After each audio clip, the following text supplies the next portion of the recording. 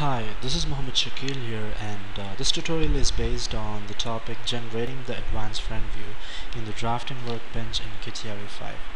So uh, the advanced front view tool is used to generate the front view. The only difference between this tool and the front view tool is that this tool can provide the name as well as the scale of uh, the view which is going to be created even before generating it so I'm going to open up uh, drafting workbench.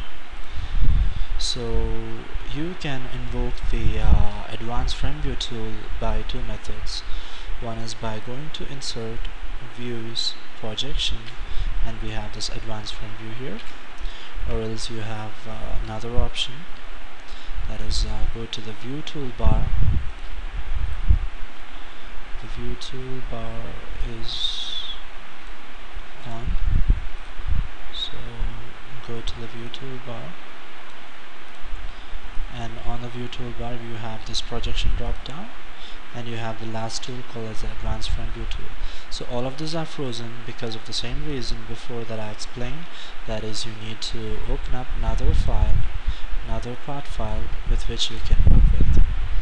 So you have another part file being open here and it meets the criteria. So you can go to the drafting workbench and you can invoke the tool by any of the methods.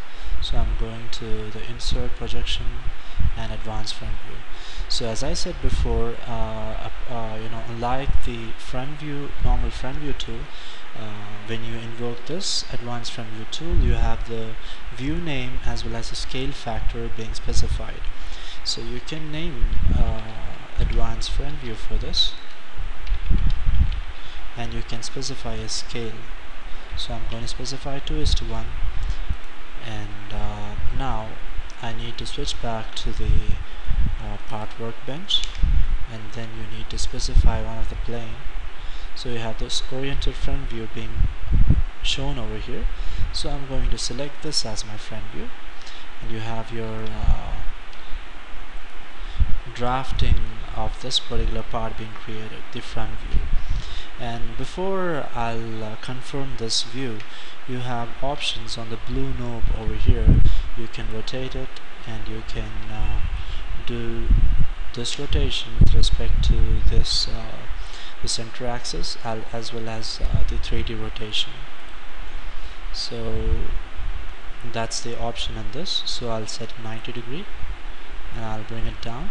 And once I'm confirmed with the uh, the orientation I'll just click outside. And this particular uh, drawing view is being uh, confirmed. And you have the name for this as I've specified and the scale as well as uh, the tool location and uh, the drafting is being confirmed. So that's about the advanced front view uh, which is coming under the projection drop down in the drafting workbench in CATIA V5.